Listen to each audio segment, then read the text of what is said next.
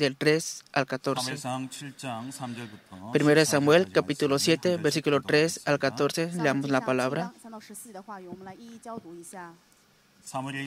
Habló Samuel a toda la casa de Israel diciendo, si, de todo vuestro corazón os volvéis a Jehová, quitad los dioses, los dioses ajenos y a Astarot de entre vosotros, y preparad vuestro corazón a Jehová, y solo a él servid, y os librará de la mano de los filisteos. Entonces los hijos de Israel quitaron a los Baales y a Astarot, y sirvieron solo a Jehová. Y Samuel dijo, reunid a todo Israel en Mizpa, y yo oraré por vosotros a Jehová. Y se reunieron en Mizpa y sacaron agua, y la derramaron delante de Jehová, y ayunaron aquel día y dijeron allí, contra Jehová hemos pecado, y juzgó Samuel a los hijos de Israel en Mizpa. Cuando oyeron los filisteos que los hijos de Israel estaban reunidos en Mizpa, subieron los príncipes de los filisteos contra Israel, y al oír esto los hijos de Israel tuvieron temor de los filisteos. Entonces dijeron los filisteos de Israel a Samuel, no ceses de clamar por nosotros a Jehová nuestro Dios, para que nos guarde de la mano de los filisteos. Y Samuel tomó un cordero de leche y lo sacrificó entero en holocausto a Jehová. Y clamó Samuel a Jehová por Israel, y Jehová le oyó. Y aconteció que mientras Samuel sacrificaba el holocausto, los filisteos llegaron para pelear con los hijos de Israel. Mas Jehová tronó aquel día con gran estruendo sobre los filisteos, y los atemorizó, y fueron vencidos delante de Israel. Y saliendo los hijos de Israel de Mizpa, siguieron a los filisteos, hiriéndolos hasta abajo de Bet-car. Tomó luego Samuel una piedra y la puso entre Mizpa y Sen, y le puso por nombre Eben Ezer, diciendo, hasta aquí nos ayudó Jehová. Así fueron sometidos los filisteos y no volvieron más a entrar en el territorio de Israel. Y la mano de Jehová estuvo contra los filisteos todos los días de Samuel. Y fueron restituidas a los hijos de Israel las ciudades que los filisteos habían tomado a los israelitas, desde Ecrón hasta Gad. E Israel libró su territorio de mano de los filisteos y hubo paz entre Israel y el amorreo. 사람들의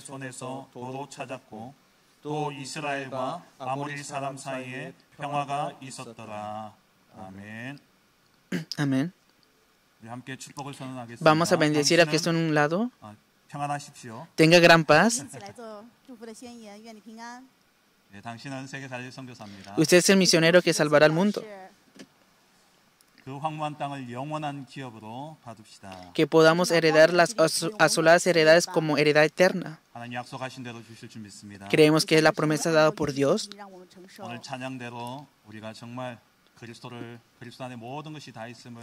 믿고 누리는 자로서 정말 예배의 자리에 초청하는 Conforme a la alabanza, yo los bendigo en el nombre del Señor para que podamos disfrutar la bendición y que está todo en Cristo y que podamos recibir esta guía en ese tiempo de culto.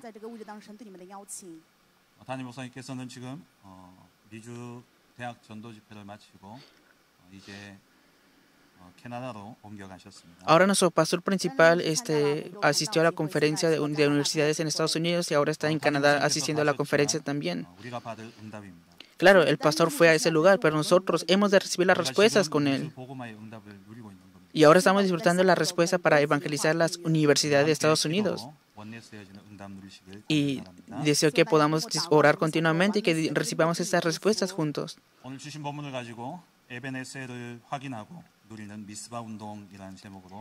Con el contenido que hemos leído el día de hoy, vamos a ver el título del día de hoy, que es El movimiento de Mispa para disfrutar y confirmar de Benecer. Claro, el hecho de que seamos hijos de Dios, todo termina, ¿verdad? Pero muchas veces pensamos un término.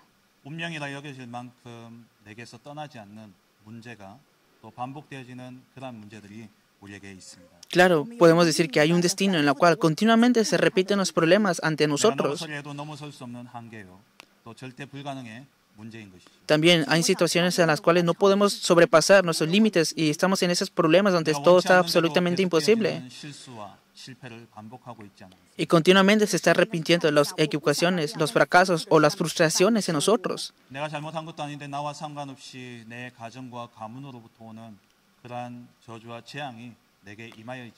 Y continuamente vienen los desastres y las maldiciones de, la herencia familiar sin que tenga nada que ver conmigo, ¿verdad? Sin que yo haya hecho algo.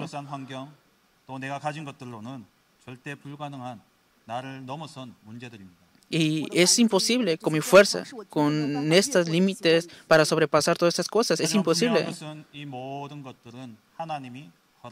Pero sin embargo podemos ver que Dios ha permitido todas esas cosas también. 답은 하나님께 있는 것입니다. Y entonces la respuesta solo está en Dios. 오늘 이 시간 지금까지 안 되었던 나의 모든 것을 내려놓으시기 바랍니다. Ahora en este tiempo, dejen todo abajo, todo aquello que no ha tomado lugar en sus vidas. 오늘 본문처럼 미스바 운동을 통해서 여호와께 돌아감으로 그 모든 것 속에 보여지지 않았던 그 하나님의 도우심을 Hoy, conforme a la palabra, yo les bendigo el nombre del Señor Jesucristo para que puedan confirmar que en el movimiento de mispa puedan dejar todas las cosas y puedan ver que solamente en el Señor pueden servir. Y así, ¿verdad? Vemos el pacto aquí. El pacto, eh, eh, la Biblia es el pacto. Y también la Biblia se nos ha dado para que lo veamos de antemano y lo conozcamos todo de antemano también. Y todas las respuestas de nuestras vidas están en la palabra.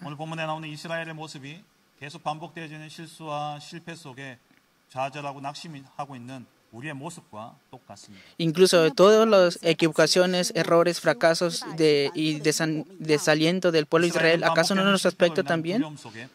Incluso cuando fracasaban, estaban atrapados por el temor también el pueblo de Israel.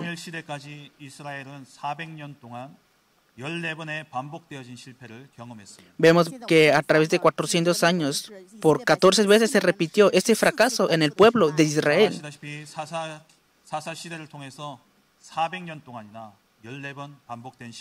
Como ustedes lo conocen, esta fue la época de los jueces en la cual se repitió 400 años y experimentaron la salvación de Dios.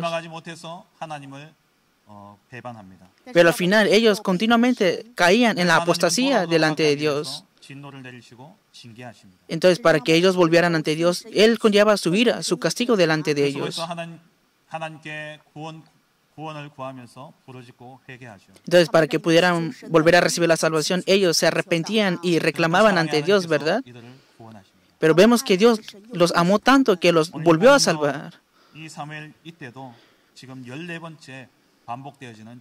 Vemos hoy a través del contenido de Samuel que fue la catorceava vez que ellos repitieron la misma situación.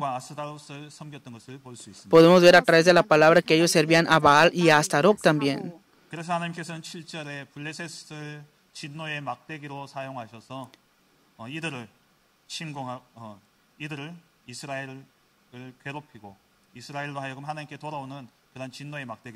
Y vemos que también Dios trajo su juicio ante los filisteos, pero también para que ellos pudieran volver a Jehová y pudieran servirle a Él también.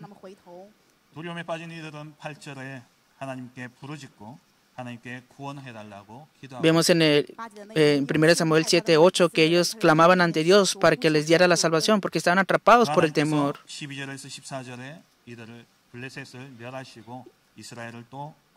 Y vemos en el versículo 12 al 14 cómo Dios los salvó de los filisteos nuevamente. Y esto fue algo que se repitió continuamente.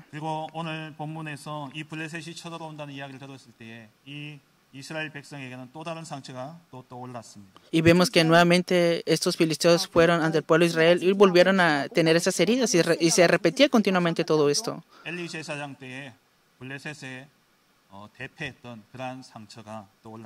Claro, vino nuevamente esta herida delante de este sacerdote que era Elí.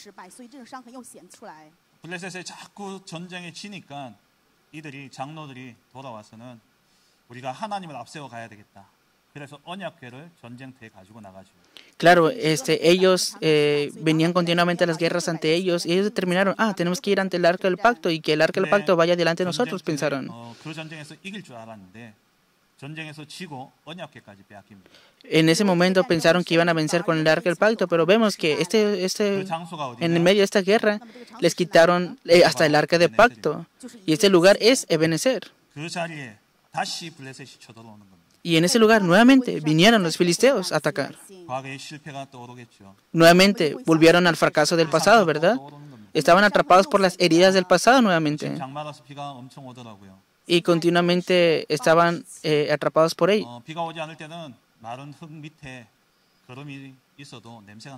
Digamos que, o por ejemplo, hoy está lloviendo, ¿verdad? Entonces, cuando está lloviendo, no sabemos el olor de esto.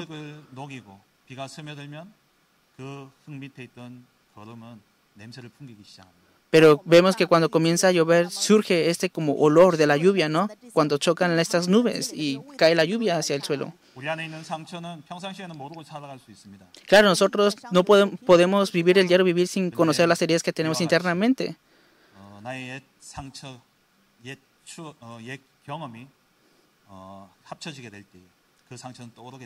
Pero vemos que, así como la lluvia, cuando chocan estas heridas y estas experiencias, se manifiestan todo esto delante de nosotros.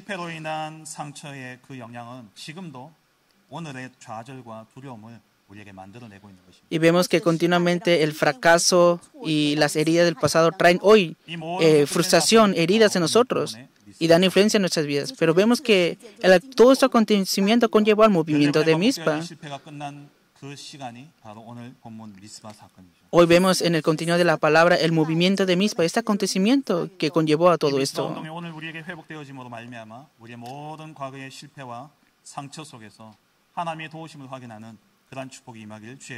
Yo los bendigo en nombre del Señor para que hoy también a través de este movimiento podamos confirmar que todo pasado, fracaso y herida es sanado por medio del Señor. Entonces, ¿qué es el movimiento de Mispa? Primero, deshacerse de los ídolos. Es deshacerse de los ídolos. Entonces, ¿cómo empezó la idolatría aquí?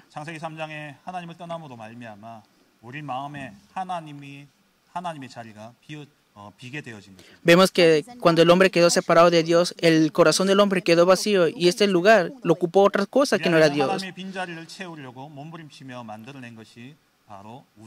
Y el ser humano se esforzaba continuamente para ser ah, ídolos y llenar ese vacío con los ídolos. Entonces venían los límites ante el ser humano.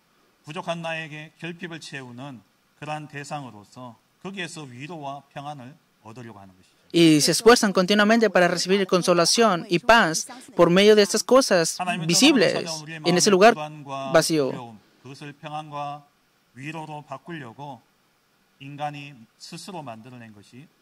Entonces, el ser humano por sí mismo ha creado los ídolos para llenar ese vacío, esa ansiedad, por medio de una paz.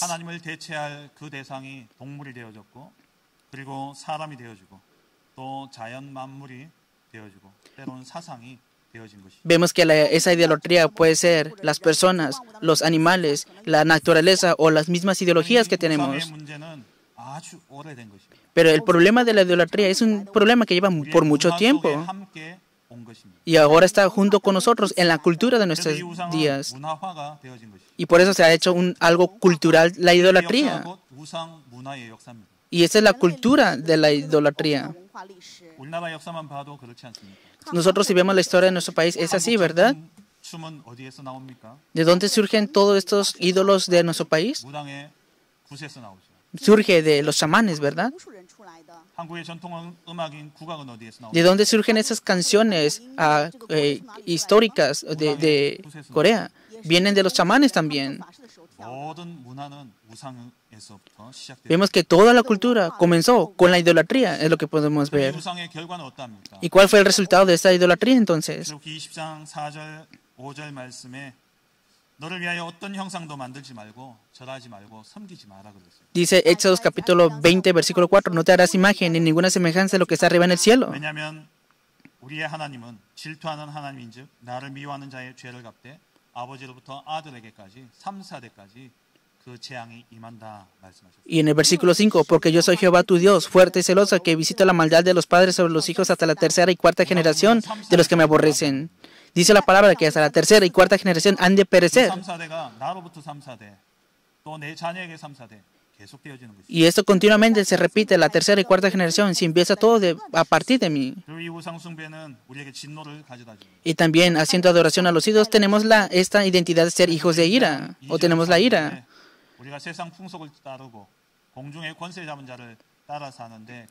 Efesios 2.2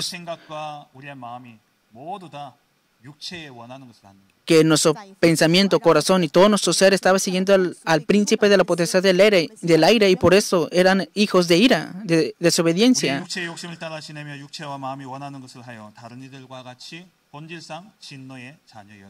Y eso, el versículo 3 dice que continuamente haciendo la voluntad de la carne y los pensamientos y éramos por naturaleza hijos de ira. Entonces, ¿qué significa eso entonces?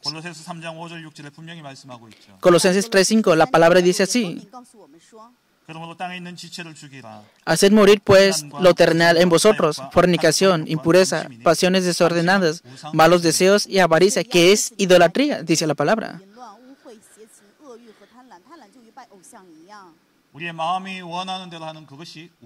Que el hecho de que tú quieras vivir conforme a tu propio deseo, eso por sí mismo es idolatría. Colosenses 3:6, cosas por las cuales la ira de Dios viene sobre los hijos de desobediencia, dice la palabra. Que las personas que hacen adoración a los ídolos esencialmente son hijos de ira. Deuteronomio capítulo 6, versículo 14. No andaréis en pos de dioses ajenos, de los dioses de los pueblos que están en vuestros en contornos. Por eso tenemos que deshacernos de los ídolos.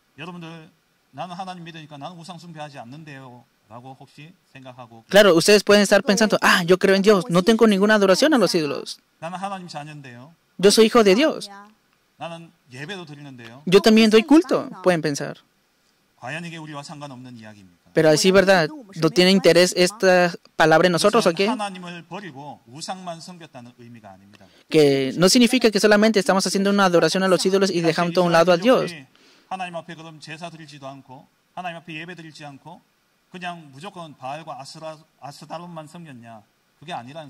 Vemos que el pueblo de Israel no solamente daba sacrificios y estaba delante del arca del pacto, sino que servía solamente también a Baal y a Astarot.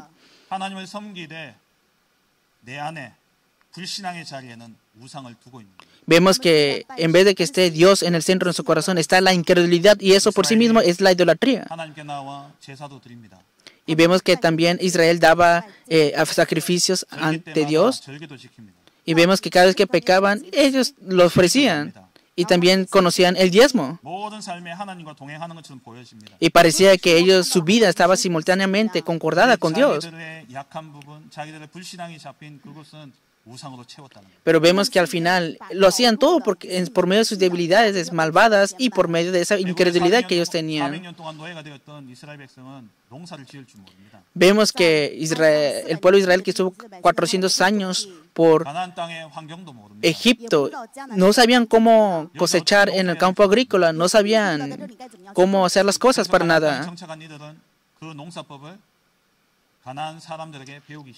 Y es por eso que ellos aprendieron de las personas que hacían la idolatría en la tierra de Canaán. Todo lo que vieron lo aprendieron.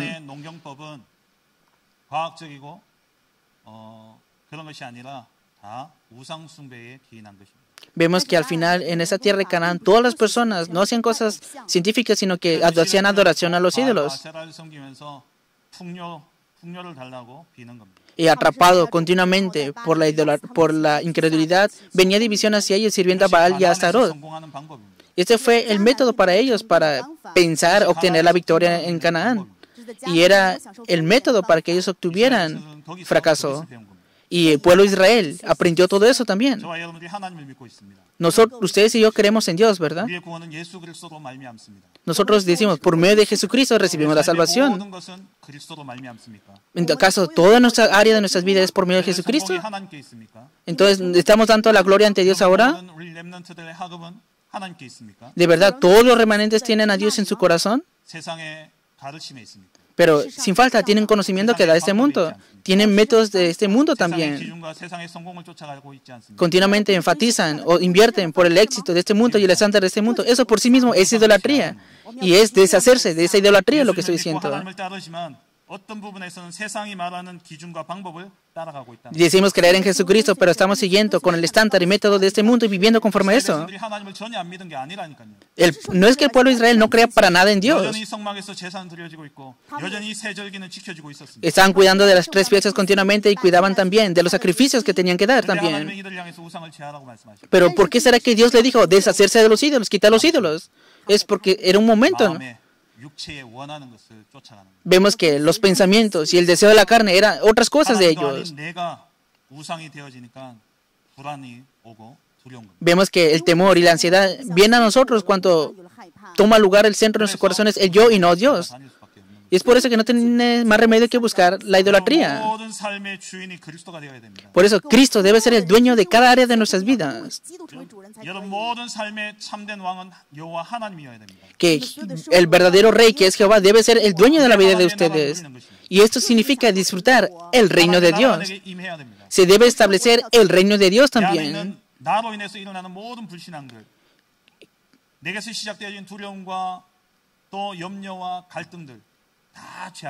Debes deshacerte de toda incredulidad, ansiedad, preocupación, temor y todo esto. Porque este es el comienzo de la idolatría. Y tienes que deshacerte de esto. Por eso en esta semana meditemos profundamente. ¿Acaso no tengo dos corazones en mí o qué? Claro, tengo la seguridad de la salvación porque soy hijo de Dios. También oro. Claro, claro. Pueden estar pensando que están coordinando su pensamiento en el evangelismo y las misiones. Pero hay algunas áreas de tu vida que tú piensas que aún eres el dueño de tu vida en esas pequeñas cosas. Y allí es donde Satanás se infiltra a obrar. Y al final eso por sí mismo se vuelve una idolatría. Y a causa de eso viene la maldición y también el juicio ante nosotros.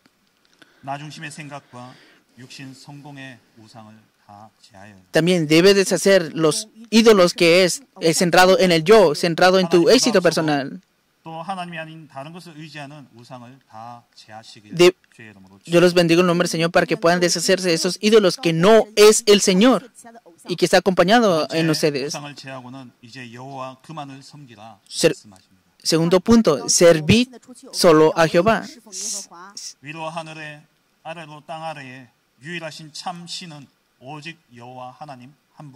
Vemos que el único verdadero Dios, el único verdadero Dios es solamente Jehová y tenemos que servirle a Él. Por eso tenemos que servir solamente a Jehová. ¿Cómo debemos de servirle? es debemos de encontrarnos con Dios, ¿verdad? Nosotros que estamos separados por Dios, no podíamos encontrarnos con Dios absolutamente para nada. Nosotros que estamos separados de Dios, ¿cómo podemos servir a Dios entonces? Génesis 1.27, que fuimos creados imagen y semejanza de Dios, deberíamos estar junto con Dios, pero al final el, el ser humano quedó separado de Dios.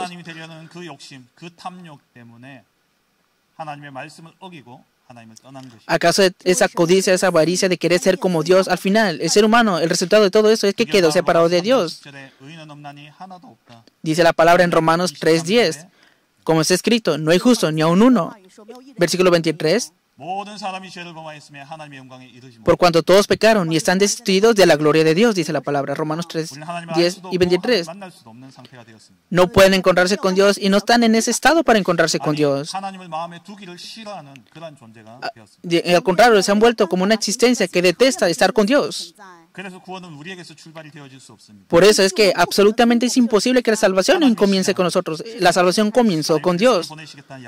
Y Él prometió enviar a Jesucristo para nosotros. Y vemos que Él murió en la cruz y solucionó todos los problemas de nuestros pecados también.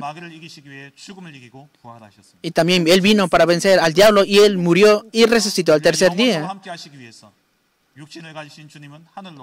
Vemos que 지금 함께하고 계십니다. el Señor que encarnó, Él vino, pero también ascendió al cielo, pero ahora está el Espíritu Santo con nosotros eternamente. Juan 1.12, mas a todos los que le recibieron, a los que creen en su nombre, les dio potestad de ser hechos hijos de Dios. Hechos 4.12, y en ningún otro hay salvación, porque no hay otro nombre bajo el cielo, dado a los hombres en que podamos ser salvos. Es lo que la palabra está diciendo. Solamente a través de Cristo podemos encontrarnos con Dios.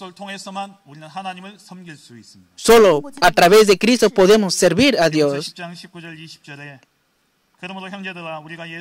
Hebreos 10, 19. Así que hermanos, teniendo libertad para entrar en el lugar santísimo por la sangre de Jesucristo, versículo 20, por el camino nuevo y vivo que Él nos abrió a través del velo, esto es, de su carne. 世界的他给我们看来一条又新又活的幔子，从路从幔子经过，这幔子是他的身体。Nosotros ahora podemos salir firmemente delante de Dios por medio de Jesucristo. Ahora se nos ha abierto un nuevo camino para salir ante Dios y es por eso que nos aferramos a Cristo e ir delante de Él. Conforme a la alabanza que escuchamos hoy, en Cristo está toda libertad y en Él están todas las cosas. Por eso restauramos la acción de gracias verdadero que es estar junto con Cristo. Juan capítulo 4 versículo 23 dice la palabra, mas la hora viene y ahora es, cuando los verdaderos adoradores adorarán al Padre en espíritu y en verdad, porque también el Padre, tales adoradores, busca que la adoren. Dios es espíritu y los que la adoran en espíritu y en verdad es necesario que adoren.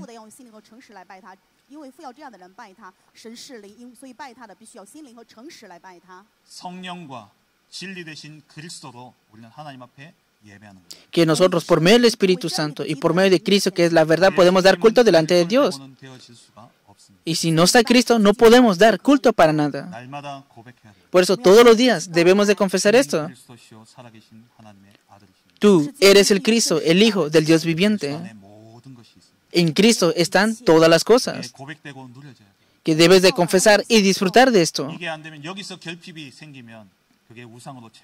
Si no toma lugar eso, al final vendrán otras cosas y se convertirán en idolatría en ti. Y eso atraerá la maldición y los desastres a tu vida. Por eso, a través, a través de la palabra tenemos que servir a Dios. Juan capítulo 1, versículo 1. En el principio era el verbo, y el verbo era con Dios, y el verbo era Dios.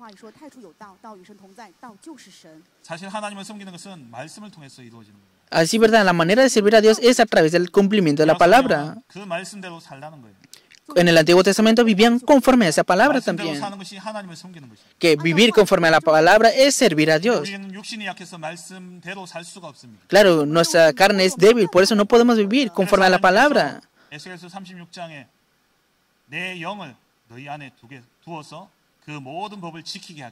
Así como en Ezequiel capítulo 37, que yo derramaré de mi espíritu, Joel 2.17, que yo derramaré de mi espíritu y tú conllevarás y cuidarás de esta ley. Sí, debemos de cuidar la ley. No podemos salir de la ley. Pero nosotros no podemos cuidar de esta ley.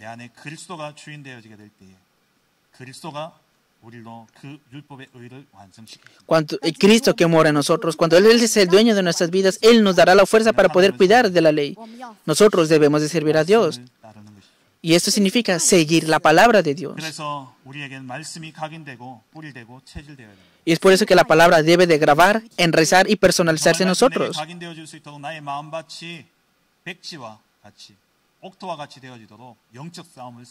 Entonces, mientras más se graba continuamente la palabra en nosotros, cambia nuestro estado espiritual y se resplandece la luz y podemos tener la batalla espiritual. De verdad, ustedes están aquí en el culto, pero de verdad, ¿han tenido la batalla espiritual para estar aquí?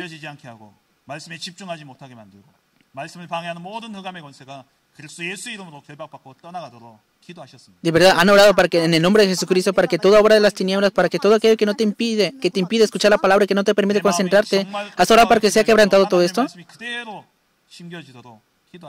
De verdad, has orado para que la puedas recibir la palabra conforme es proclamada hoy. Así, verdad, lo más primordial en el tiempo de culto es la oración que la palabra esté grabada en ti. De verdad, ten la batalla espiritual para esto. También la palabra debe de en ti.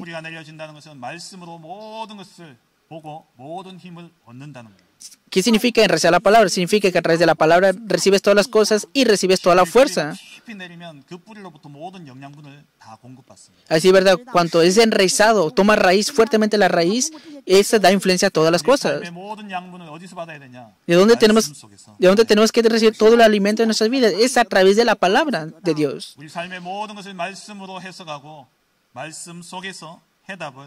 A través de la palabra tenemos que reinterpretar todas las cosas y recibir también las respuestas. Por eso también tenemos que entrar dentro de la meditación en la palabra. La meditación no solamente es como un despertar. Muchas personas meditan en la palabra, pero piensan que se quieren percatar de algo. Que el hecho de meditar en la palabra significa decir solamente amén a esta palabra. Es confesar y creer que conforme esta palabra será conllevado todas las cosas es orar para que conforme a esta palabra sea cumplido y obre en nuestra vida. La meditación no es percatarte de algo, sino es tener seguridad y creer en esa palabra. Ah, de verdad, conforme a la palabra tomará lugar esto. Digamos que delante de tus ojos está la equivocación o el juicio. Dice la palabra que la fe es la certeza de lo que se ve, la convicción de lo que se espera. De verdad, ustedes han meditado de esta manera en la palabra. Entonces no solamente es ordenar una palabra. Meditar en la palabra no es ordenar un mensaje nada más por hacerlo. Digamos que no entiendo para nada nada. Meditar en la palabra significa creer que esta palabra se va a cumplir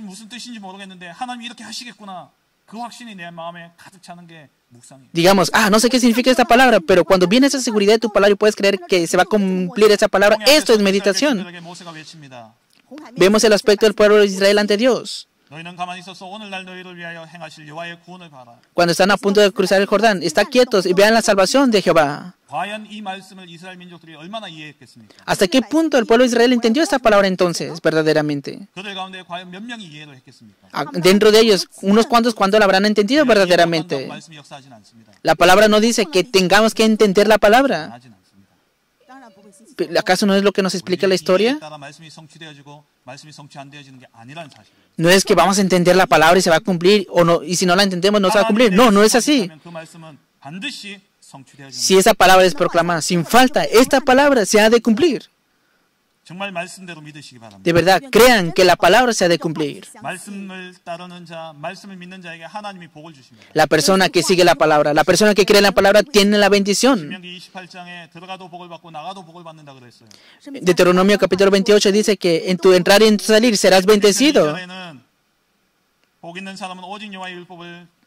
Salmos capítulo 1 Versículo 2 dice que bienaventurado el varón que medita en la ley de Jehová. ¿Qué tipo de bendición tiene él entonces? Salmos capítulo 1, versículo 3. Será como árbol plantado junto a corrientes de aguas, que da su fruto en su tiempo y su hoja no cae, y todo lo que hace prosperará. Por eso no traten de querer infiltrarse tanto en la palabra.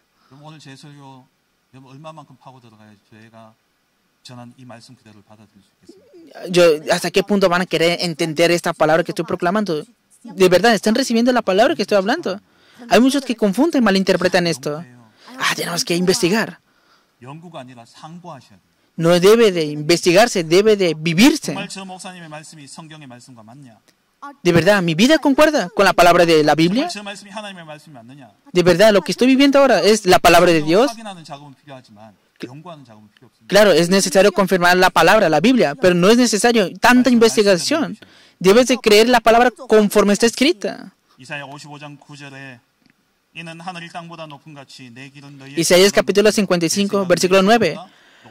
Como son más altos los cielos que la tierra, así son mis caminos más altos que vuestros caminos y mis pensamientos más que vuestros pensamientos. Nosotros, con nuestro estándar, absolutamente no podemos entender la palabra de Dios. ¿De verdad la pueden entender? Yo no la puedo entender por mucho tiempo.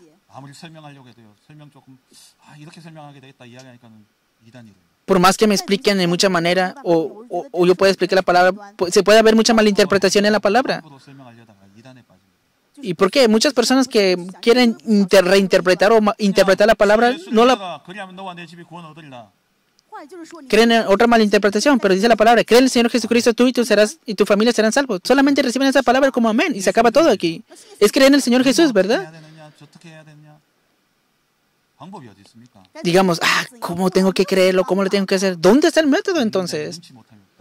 Dice que a los que creen les será hecho. Si no creen, Dios no obrará. Por eso, la palabra es de recibirlo con un amén.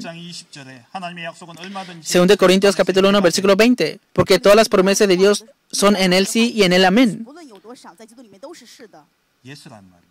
Está hablando de el, está hablando de pastores o otras personas. No, dice, las palabras, las promesas de Dios son en el sí y en el amén. Y cuando nosotros decimos amén, damos la gloria delante de Dios. Vemos la confesión de Hechos capítulo 27, versículo 25, que sea nuestra confesión también. Por tanto, oh varones, tened buen ánimo, porque yo confío en Dios, que será así como se me ha dicho. Es creer en Dios. De verdad, crean en la palabra. Y esto significa servir a Dios. Claro, actividades, devoción, es necesario. Pero todo eso debe de conllevarse dentro de la fe que cree en la palabra de Dios. Tercer punto, reunirse en Mispa. ¿Ustedes saben qué significa Mispa? Mispa significa guarda. Es el guarda de verdad es el guarda. Es por eso que en Israel hubieron muchos mispas. Vemos que David levantó más de mil. Y en cada uno de esos lugares levantaron a mispas también.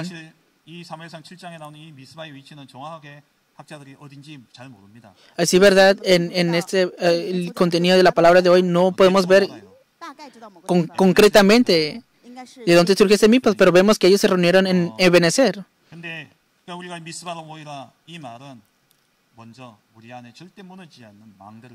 ¿Qué significa reunirse en Mizpa? Es, significa levanta la torre absoluta que no se derrumba en ti. El lugar no es lo importante. Es tu corazón lo importante, es el centro de tu corazón lo importante. ¿Qué significa reunirse en misma? Es ir a ese lugar de culto y oración, significa esto. ¿Cuál es la tierra absoluta que no se derrumba para nada en nosotros? Es dar culto ante Dios es creer en este pacto y es orar conforme a esto. ¿Qué significa servir a Jehová? Es orar y dar culto delante de Dios. Que a través del culto y la oración podemos encontrarnos con Dios también. Primera Samuel capítulo 7 versículo 5 y Samuel dijo, reunid a todo Israel en Mizpa y yo oraré por vosotros a Jehová.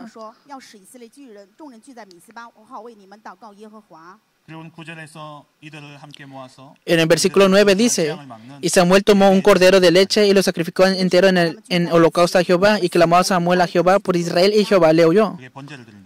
Está hablando de del esencial de aquí, ¿verdad? De verdad, si de verdad oramos, podemos encontrarnos con Dios. Jeremías capítulo 29, versículo 12. Entonces me invocaréis y vendréis y oraréis a mí y yo os oiré. Y me buscaréis y me hallaréis, porque me buscaréis de todo vuestro corazón. Versículo 13. Jeremías capítulo 29, versículo 12 y 13.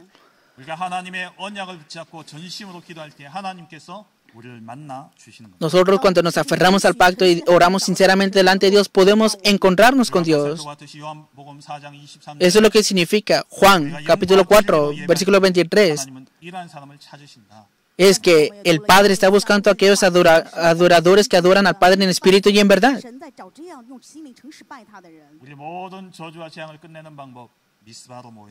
que el método para terminar toda maldición de Satanás en nuestra, vi nuestra, vida es reunirnos en Mizpa. Y,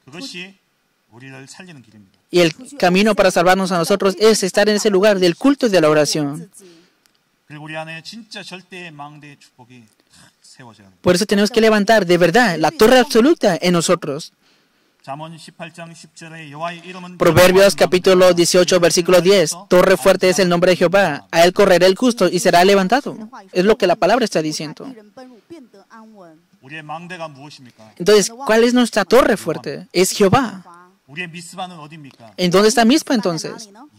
Es Jehová. Que solo Jehová es nuestra torre fuerte, nuestra torre absoluta. Por eso oramos ante Él. Dios Trino, por favor, lléname, lléname con el poder del trono celestial en ese momento. Y que a través de este poder pueda restaurar el poder espiritual, el poder de la sabiduría, el poder físico, el poder de la economía de la luz, el poder de los encuentros de bendición. Y entonces se restaura la bendición de Ebenezer, que pasado, presente y futuro es avivado. Y ya no serás engañado para nada por Satanás. Al contrario, vencerás al príncipe de la potestad del aire. Y has de ir en ese camino, ese itinerario que Dios ha preparado para ti. Y dentro de ese itinerario Dios sana a los enfermos. También salva a la siguiente generación. Y también te dará la bendición para salvar las dos tres, siete naciones y las cinco mil tribus. Si es difícil memorizar o recordar las siete torres, recuerden tres puntos nada más. Dios, Dios trino, que se establezca el poder del trono celestial y el poder de los cinco poderes. Que solo el nombre de Jehová es nuestra torre fuerte que Dios Trino es nuestra torre con su poder. De verdad, oren todos los días en esto. Que esa bendición en nosotros, en nuestra iglesia, en tu estudio y campo, hoy, en cada uno de los encuentros que tengas hoy, en cada paso que des en el campo, que se establezca este poder. De verdad, todos los días levanten la torre de Mispa. Veamos la conclusión de la palabra. Y deseo que esta sea una gran bendición para ustedes también. ¿Y cuál es esta bendición? Y es confirmar y disfrutar la bendición de Benecer. Hasta aquí Jehová nos ha ayudado confirma esto así, ¿verdad? Y entonces todo pasado, presente y futuro será avivado.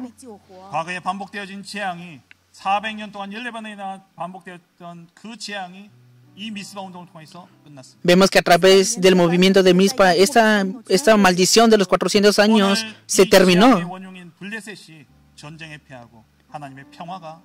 Vemos que se rompió completamente la guerra contra los filisteos y se estableció la paz de Dios en este movimiento de Mizpa. Y a través de David, en el futuro se levantó este templo para el arca del pacto.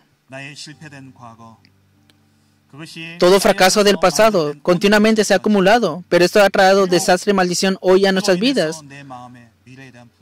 Y a causa de eso tienes ansiedad y preocupación por el futuro. Pero a través del movimiento de Mispa, levantando la, la torre, vemos que Dios, que señorea todas las cosas, Él ha preparado este itinerario para tu vida. Todo fracaso del pasado que ha pasado, eh, dificultad, problemas absolutamente imposibles delante de ti el día de hoy. y todo ese temor y ansiedad que está llenando tu corazón por el futuro. Que en todas esas cosas está Dios como Ebenezer.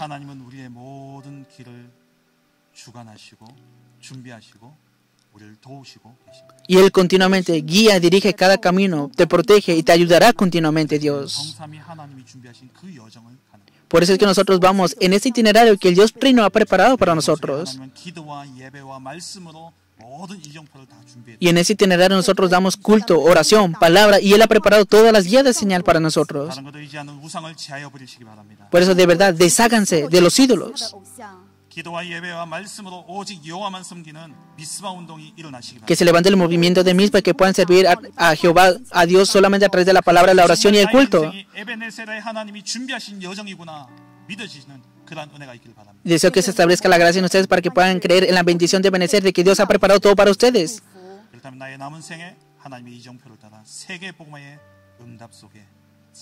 Y ahora y hoy tenga la determinación, la determinación de que entrar en esta guía de señal de que Dios ha preparado todo para ti para la evangelización mundial.